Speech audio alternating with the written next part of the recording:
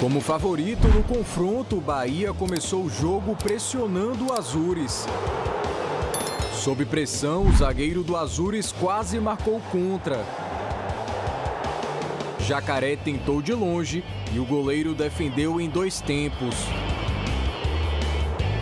Raí também arriscou de fora da área, mas errou a pontaria. Na primeira subida, o Azures acertou a rede pelo lado de fora.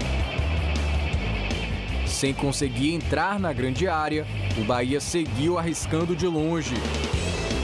Os caras não saíram de trás, cara. E aí você vai cansando, cansando, cansando, você tem que romper as linhas, eles estão cada vez mais postados. Jacaré tentou de cabeça, mas faltou força. A equipe empurrou o adversário, a equipe jogou em cima do adversário, teve dificuldades é, é, é, ali próximo à área, né? ainda assim com dois é, zagueiros altos um de 2 metros e 3 e outro é, é, de 1,91. O Jacaré cabeceou duas a três bolas. Isso é precisão de passe. O segundo tempo foi menos agitado, mas a torcida tricolor foi à loucura pedindo pênalti de Salazar em Davó. Como é que eu vou ter jogadas mais claras com oito jogadores dentro da área? Né? E ainda assim nós finalizamos, mas finalizamos fraco. Quando nós tivemos as situações mais claras, nós acabamos ou não batendo, é, ou é, sofrendo a penalidade que o juiz não deu, e aí que estão tá os erros nossos. O clima também esquentou entre os atletas depois que o Bahia não cumpriu o fair play após o goleiro do Azures parar o jogo sentindo cãibras. O fair play é quando o jogador se lesiona. E o brasileiro pega o fair play para queimar tempo, para enganar a arbitragem e para gerar é, é, desavenças no jogo, porque o adversário vai ficar muito bravo com isso, para jogar o psicológico. Né? E muitas vezes não aconteceu nada e eles querem que reponha a bola para eles. Da entrada da área, Rezende pegou de primeira e jogou para fora. O jogo vai seguindo, as coisas não vão acontecendo, não vão acontecendo, tende a você ficar mais desgastado, cansado. Você pensa em fazer, a perna já não obedece e você quer fazer rápido. Aí você começa a errar. Falcão tentou marcar na estreia, mas a zaga desviou a bola e facilitou a vida do goleiro. O Bahia teve 60% de posse de bola e o dobro de finalizações do Azures, mas não conseguiu balançar a rede e agora tem que buscar a classificação lá no Paraná. Lógico que eu não saio satisfeito porque eu queria o resultado, mas também não saio triste e não saio preocupado porque o que faltou foi o gol. Foram 90 minutos, tem mais 90 e a gente sabe que a postura da equipe lá é igualzinho. Não muda nada, o que muda é a qualidade do campo e luz de boate. Né? Mas nós temos que superar.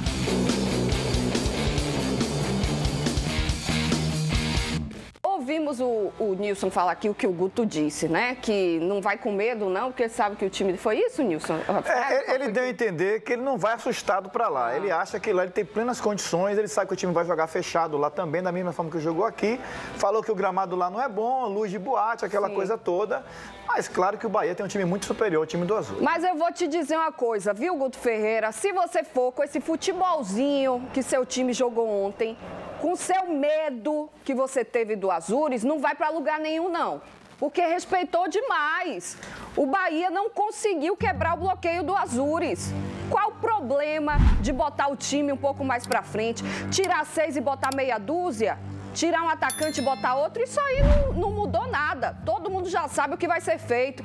Cadê a carta na manga para conseguir passar por um adversário quando tem que propor o jogo. O Bahia não conseguiu ontem. Não me venha com essa conversa de que jogamos muito melhor, de que isso, que aquilo. Torcedor quer resultado, torcedor quer bola na rede. 12 mil pessoas tomaram chuva ontem na Fonte Nova para ver um 0 a 0 contra o Azures. Aí dá para entender, porque o Azures comemorou quando tirou o Bahia no sorteio, né? Porque o Bahia respeitou demais o adversário. Cadê o centroavante que tanto foi cobrado? Vai passar a temporada toda, dependendo de Rodalega, vai queimar o jacaré, porque você botar um jogador de um metro e meio no meio de zagueiro de dois metros, um cara que não tem experiência nisso, não sabe fazer a parede, não sabe fazer o pivô. A dele não é essa. Fora outras, outros problemas que tivemos nesse jogo ontem, tem um lance aqui que, como sempre, no final tem desculpa para ser dada. A culpa ontem foi da arbitragem, que não deu o pênalti. Vamos ver esse lance aí, olha. Olha aí, ó. Bahia no ataque, o Davó invade a área. E aí, gente? Para mim foi lance normal. Olha, Juliana, eu não achei pênalti, não. Eu achei que é, foi no corpo aí. Lógico que o Davó já foi se jogando. Se você prestar atenção, quando ele bota o pé esquerdo na frente da bola, ele já vai né, com a intenção de se jogar. O zagueiro não foi é, de forma assintosa em cima do jogador do Bahia. Né? Mas é sempre isso. Quando não se consegue o resultado positivo, é, tem que procurar um culpado. Né? Eu acho que a arbitragem foi bem dentro do jogo. Eu acho que a arbitragem ela não é, foi aquela arbitragem que disse o resultado do jogo, que foi fundamental para o resultado do jogo. Não.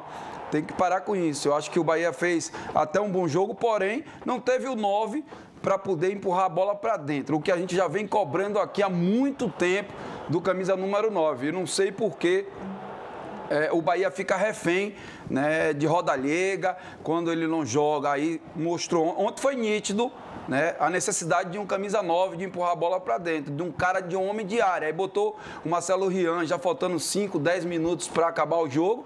É difícil para o menino, até que tem já dificuldade, de empurrar a bola para dentro.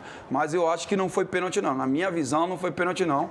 E aí tem que jogar mais futebol ter competência para empurrar a bola para dentro e não procurar desculpas após um jogo desse. Olha, Juliana, é assim, ontem na transmissão da Itapuã FM, eu estava atrás do gol ali a 4, 5 metros. Eu disse no ar que não foi pênalti. Eu vi o lance de perto, achei que não foi pênalti. Vendo pela TV, já fiquei um pouco na dúvida, porque há o empurrão, há o contato. Mas futebol também tem contato. Se ele tivesse marcado o pênalti, ninguém dizer que não foi. Né? É mais interpretativo do árbitro mas do meu lado ali, de onde eu estava de frente, eu achei que não foi pênalti. Agora, a arbitragem para mim não influenciou em nada, a arbitragem foi boa, não teve nada de anormal. Esse lance é um lance interpretativo, ele não deu, poderia ter dado. E segue o jogo. O teve quase 100 minutos para fazer um gol e não fez. O Guto Ferreira também não pode culpar a arbitragem pelo empate, porque não teve nada disso, Juliano. É, na minha opinião, é, o árbitro não estava bem colocado e de longe é difícil para marcar um lance desse. Então, ele não marcou. Acredito tem um assistente, que... né? Que tá Exato, ali. mas aí o assistente é aquele negócio. Né? E lembrando assistente... que não tem VAR, hein? Sim, Exato, o assistente sempre deixa para o árbitro essas questões mais polêmicas, mais é, é, duvidosas. Mas o Bahia não venceu, não foi por causa da marcação, da não marcação desse pênalti. Eu acredito que a gente tem sim que dar um pouco de razão para o Guto, porque o treinador, quando ele monta o seu time, ele monta para ser melhor do que o adversário. Ele foi melhor do que o adversário em todos os quesitos. Ponto para o treinador. Agora, não venceu, aí você tem que procurar os motivos que não venceu. Então, faltou competência, faltou. Faltou qualidade, faltou. E onde a gente vai achar essa qualidade? Bom, não nos deram essa qualidade. Então, a culpa já não é do treinador, já é das armas que não deram para ele para ir para a guerra. É, claro que o Bahia ainda tem a carência de contratações, algo que a gente sempre falou. Faltou o centroavante, falou, faltou o meia, o 10 de qualidade para a organização do meio de campo, mas eu vejo sim nesse elenco aí, é, mesmo não tendo tantas peças, eu vejo que o Bahia poderia ter tido um esquema tático melhor para esse jogo contra o Azures. Realmente foi uma decepção muito grande a forma com que o time ficou postado, né? A, as mudanças que o Guto fez, para mim também, é, não foram aquelas que surtiram efeito. E a questão do meio de campo. Se você tem um time que está abdicando de jogar, como foi o Azures, o Danilo Fernandes assistiu a partida, ficou ali de camarote. A gente sabia que o Azures não ia sair. Qual a necessidade de você passar o jogo todo com aquele esquema de volantes? Exatamente, Juliana. A gente, é o que eu falo. É, o Bahia, se você prestar atenção, Ju e Nilson mais Hugo, o Bahia ele não mudou peças. O Bahia mudou a atitude desde a estreia da Série B. O Bahia ele não mudou peças de jogadores, não contratou grandes jogadores para fazer duas atuações onde teve dois resultados positivos na Série B e essa atuação que para mim não foi uma atuação ruim, porém na finalização deixou a desejar porque a bola passava ali toda hora na grande área. Né? Então eu acho que se você prestar bem atenção, o Bahia não mudou é, é, em termos táticos e de jogadores, mudou a sua postura, mudou a vontade dos jogadores dentro de campo. Beleza. Mas e, falta assim, mudar a parte ser justamente tática. no seu comentário, teve é, uma peça ou outra que evoluiu. Rezende, por exemplo, passou a jogar exatamente, é, com exatamente. mais qualidade, né? Tecnicamente, mesmo, os mesmos jogadores que vieram do Campeonato Baiano, né? Copa do Nordeste, então mudaram muito mais a postura deles dentro de campo. Mas aí agora vem a parte tática que precisa mudar né, é, a qualidade técnica que precisa dar ao elenco do, do Bahia para que você possa ter uma temporada mais tranquila, mais vitoriosa e alcançar o objetivo final, que é o acesso à Série B. Né? Agora já não pode mais contratar, só em julho, se eu não me engano, que a pode contratar. então, julho. vai ter que ficar até 18 de julho com esse elenco aí, com esse time aí, para os próximos jogos. Mas o Bahia sabia dessa carência do ataque, sabia da carência do meio de campo. Né? Então, é, o que mudou e o que tem ajudado ao Bahia é a atitude dos atletas dentro de campo. É, contando, você pode escrever jogadores que têm um contrato finalizado antes do dia 12. Exatamente. Depois do dia 12, só dia 18 de julho. Um fato que me chamou a atenção ontem, o Hugo que é treinador, você que jogou futebol muito bem, jogadores pequenos do Bahia. Raí, Jacaré, Daniel, Marco, Marco Antônio. Antônio, todo mundo baixinho time do Azures, o jogador mais baixo do, da zaga era o Gemerson, lateral esquerdo, da minha altura, 1,75m, que para mim foi o melhor é baiano, né? A família dele estava lá. E é o melhor jogador do Azures, porque no jogo de hoje foi muito bem, o lateral esquerdo. Os dois zagueiros, um tinha 2,03m e o outro tinha 1,94m. Imagina. O lateral é... direito, 1,90m, o goleiro, 1,95m. Então, o time extremamente alto e o Bahia pode ter essa dificuldade durante a Série B com equipes mais fortes fisicamente. Os jogadores do Bahia são muito pequenos, não é aquele jogo de fogoso, né, de velocidade, drible, finalização, mas a, a, a, a questão física funciona. Por exemplo, o primeiro tempo ontem, todas as bolas alçadas na área do Azures, o Bahia não ganhou uma. Só o Jacaré que deu um empurrãozinho. É, é, a forma do time jogar pequeno, né? é que foi errado. Baixos, é isso que eu estou falando da questão tática escolhida pelo treinador, Hugo. Quando você tem um time nessa situação, sem um centroavante, que você bota jogador pequeno como o Jacaré dentro da área para ficar alçando bola, ou ela vai passar e ninguém vai alcançar, ou ela vai passar por baixo e correr. Juliana. O, o Guto não conseguiu, em momento algum, montar um esquema para quebrar essas linhas do Azures de outra forma. Você não viu um jogador do Bahia chutar uma bola de fora da área. Não teve isso, não. Verdade, não teve. Acredito. Uma jogada ensaiada, você. Eu acredito, eu acredito assim, que primeiro é, de tudo tem o erro de formatação do elenco. Aí sim. Porque você precisa ter num grupo que vai jogar a Série B um jogador que individualmente faça a diferença no mano a mano. O Bahia não tem. O Bahia, o melhor que tem para esse quesito é o Marco Antônio. E ele não dá profundidade, ele vem sempre para o meio. É. E aí é onde você encontra o congestionamento. Então há uma, uma, uma dificuldade, o Bahia não, não tinha diretor de futebol, fizeram aí como quiseram o time no começo do ano e o Bahia tem essa deficiência. Agora, do pessoal mais alto, eu acredito que o Bahia até tinha vantagem por ter os jogadores mais rápidos contra esse pessoal mais alto. Agora, não pode, é o cara chega na, ali na, na, intermediária, corta para a perna esquerda, o cara está na direita, corta para a perna esquerda e, e centra com a perna esquerda com zagueiros de dois metros. Ele está dando vantagem para a defesa. Não vai então aí, gol, né? exato. E aí o Bahia teve o defeito de não ter aquela ultrapassagem por fora para o cara pegar a bola e jogar para trás na linha de fundo. Essa é a jogada que você tem que fazer com uma defesa alta dessa. Linha de fundo e bola no chão. Então o Bahia não faz, aí corta para dentro e cruza com a perna trocada. Isso aí é dar bola para o zagueiro. Então o Bahia passou o tempo todo fazendo isso Claro que foi melhor, mas esse é, é, é uma falha tática que o Guto tem que corrigir, porque você ganha jogos indo no fundo, tendo profundidade. Olha lá, vai chegou no fundo. Essa bola tem que vir rasteira, quem chega lá na frente do, do zagueiro para tirar. Então essa é uma falha de formatação da equipe. Quem é um pimentinha do Bahia?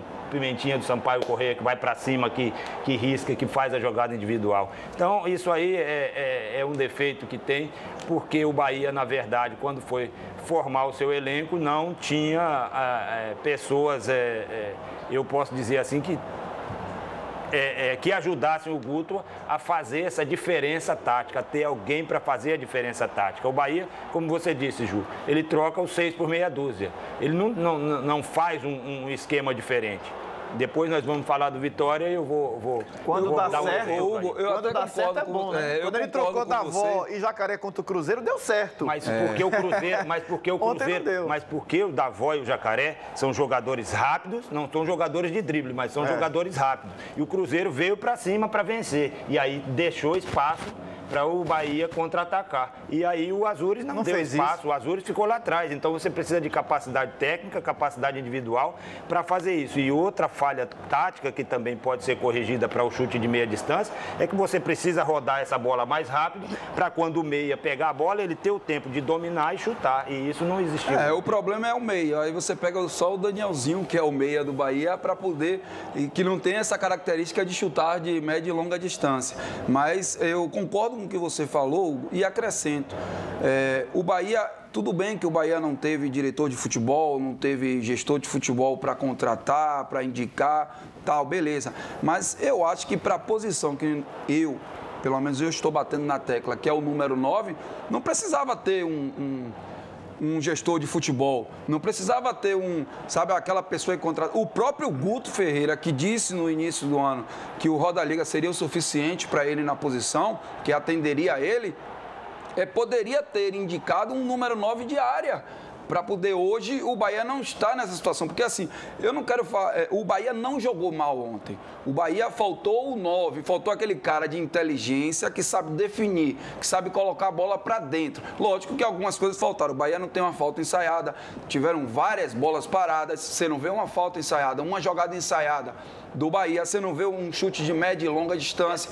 No 1 um para 1, um, o Marco Antônio não está bem, é o único jogador que vai para cima, como o Hugo falou. Mas a parte ali do 9, da bola passar na área, passou N vezes a bola na área. N vezes. Eu tava no jogo trabalhando e a bola passou lá, ó. Eu falei, oh, meu Deus do céu, uma bolinha daquela, só o cara botar o pé ali e empurrar para dentro. Não, não tem um número 9. Vai ficar dependendo do Roda Liga sempre. Poderia ter vencido o jogo. E outra, o jogo da volta, Nilson, está a definir. Porque é, o Azul só pode jogar no estádio com capacidade de 10 mil pessoas. E o é, estádio do Azures não é, tem a capacidade colocando... de 10 mil pessoas. Então ainda está definido. Então o Guto não pode nem querer justificar o jogo de volta em campo menor, em campo de, de iluminação ruim, de boate. em campo ruim, de boate ou etc. É. Não pode ainda né, tocar nesse assunto porque está definido e acredito que o Azures vai colocar em um campo muito não, é, melhor tem, do que o dele. informação sobre isso. Ontem o Rafael Machado, assessor do Bahia, me falou informação e fui também confirmar com o pessoal do Azures. Eles estão colocando arquibancada móvel. Como vai fazer no Adalto? Vai botar uma arquibancada móvel para mandar o jogo em Pato Branco. Né, o campo deles. Né, vai haver uma vistoria, me parece que hoje ou amanhã. É, tem que ter a bater vistoria o martelo, Porque o único jogo que está a definir é esse. Porque eles também estão colocando uma arquibancada móvel para poder mandar o jogo lá em Pato Branco.